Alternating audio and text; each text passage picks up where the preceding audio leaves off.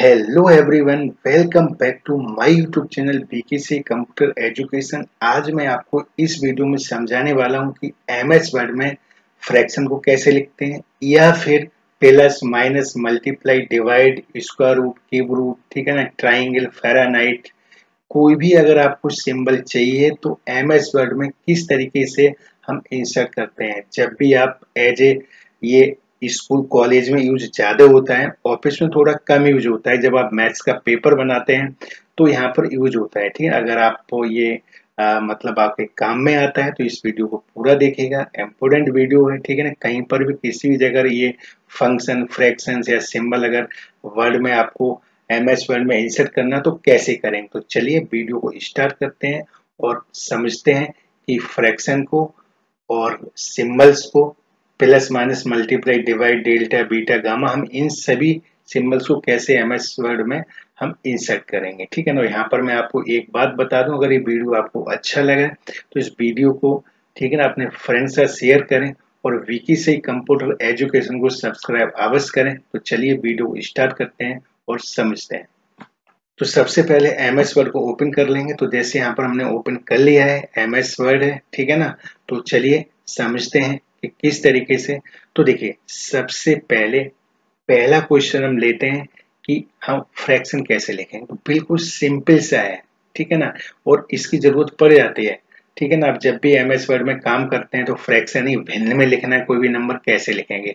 तो देखिए, सबसे पहले इंसर्ट टैब पे जाएँगे और इंसर्ट टैब पर जाने के बाद देखिए इक्वेशन की ऊपर क्लिक करेंगे, यहाँ पर जैसे ही क्लिक करेंगे तो देखिए यहाँ पर फ्रैक्शन का पहले ही यहाँ पर ऑप्शन मिलेगा, यहाँ पर क्लिक करेंगे।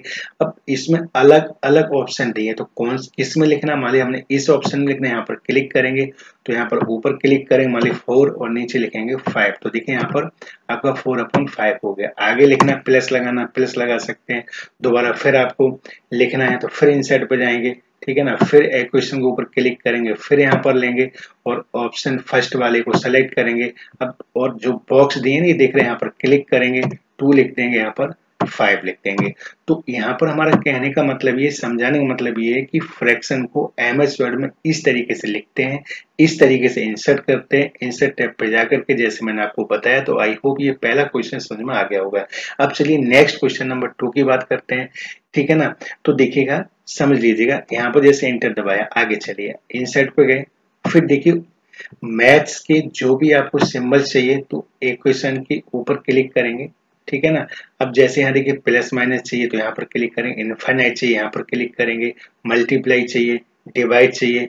डिवाइड में बहुत, जब आप मैथ का पेपर बनाते हैं, नहीं पता है तो डिवाइड ढूंढते कीबोर्ड में कहाँ दिया है तो सिंपल से यहाँ पर क्लिक करिए। ये देखिए यहाँ पर डिवाइड का साइन आ गया तो हम डिवाइड का साइन लगा सकते हैं, ठीक है ना? या 450 फिर एक बार देखिए इंसर्ट टैब पे जाएँगे इक्वेशन के ऊपर क्लिक करेंगे तो ये देखिए, यहाँ पर ये सारी, सभी मैथमेटिकल देखिएगा।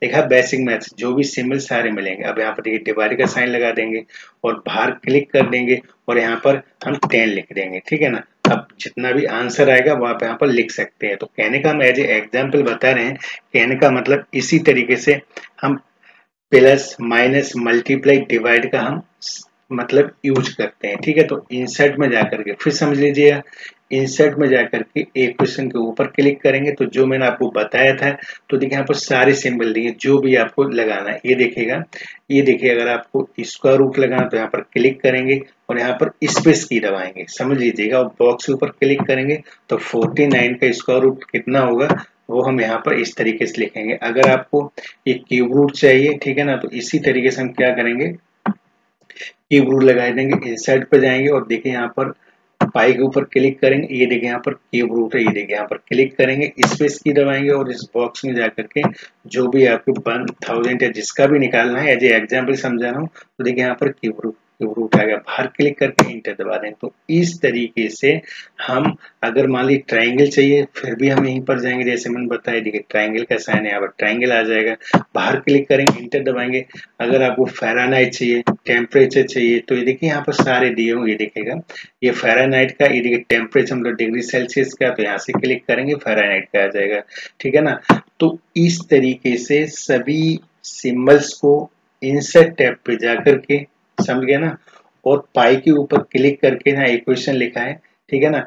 आप देखिए यहाँ से ये सभी जो इंटीग्रल हैं आपके लार्ज हैं ब्रैकेट्स हैं साइन थीटा कॉस थीटा है, ये देखिए मैथ के सारे ये ऑपरेटर्स हैं, ये मैट्रिक्स में जैसे भी आपको लिखना है ना, और प्लस माइनस ठीक है ना? Infinite under root cube root ठीक है ना? फोर्थ रूट देखिए यहाँ पर फाइव परसेंट फेरानाइट सेल्सियस है ना? और आप ये सारी चीज़ें यहाँ से यहाँ से क्लिक करेंगे और ऑप्शन आ जाएँगे। तो ये सारे जो सही ठीक है ओमेगा ये सारे जो पाई म्यू थीटा है ना, ये देखिएगा थीटा दिया। तो ये देखिए, सारे सिंबल्स आपको यहाँ पर मिलेंगे।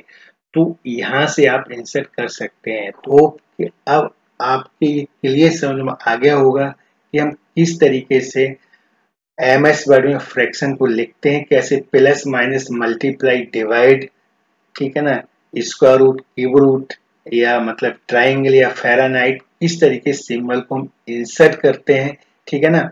तो आपकी ये बिल्कुल समझ में आ गया होगा। अगर ये वीडियो आपको अच्छा लगा हो तो इस वीडियो को अपने फ्रेंड्स के साथ अधिक से अधिक शेयर करिए और कोई प्रॉब्लम से कमेंट करिए, ठीक है ना?